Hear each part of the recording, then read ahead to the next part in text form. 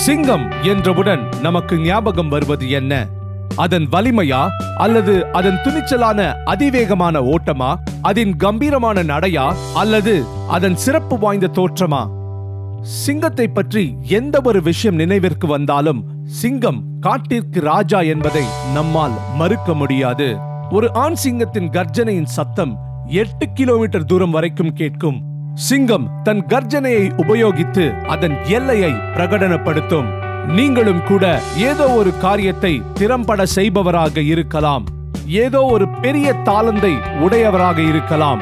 ஆனால் அதை மேம்படுத்த நேரம் கொடுக்காமல் அதை குறித்து மற்றவர்களிடம் கூறி அதை வெளிப்படையாய் பிரகடனம் செய்யாமல் இருந்தால் உங்கள் வாழ்க்கையில் எதையும் சாதிக்க முடியாது.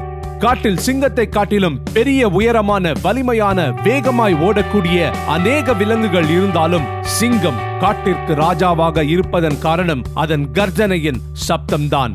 ஆல்பர்ட் ஐன்ஸ்டீன் அன்னை தெரேசா போன்ற அநேகரை நாம் பார்த்ததில்லை.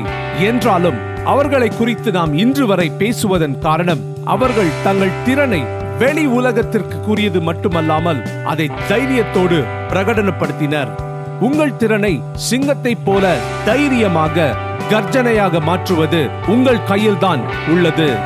நீதிமொழிகள் இருபத்தி எட்டு ஒன்றில் நீதிமான்களோ சிங்கத்தைப் போல தைரியமாயிருக்கிறார்கள் என்று வேதம் தைரியப்படுத்துகிறது. தேவன் தாமே உங்களுக்குள் இருக்கும் திறனை தைரியத்தோடு பிரகடனப்படுத்த உதவி செய்வாராக.